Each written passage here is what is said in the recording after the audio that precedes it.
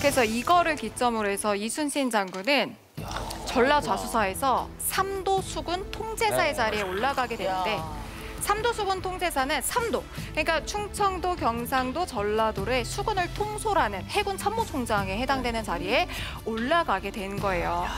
여기서 이제 비하인드로 당시에 대장이 와키자카 야사루라고 하는 사람이었고 이 사람이 간신히 살아남는데 우리나라의 그 섬에 들어가서 10일 동안 미역만 먹고서 버텼대요.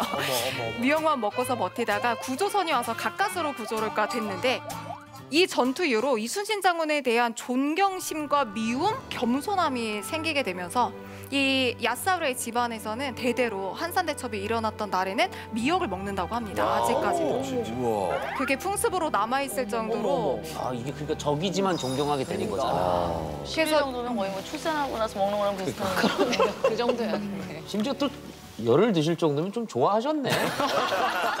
한 4일 정도면 좀 물릴 텐데. 그때는 또 아이고 네. 남의 쪽 미역이 맛있어. 좋은 미역이었나 보다. 어 맛있어 그게 또.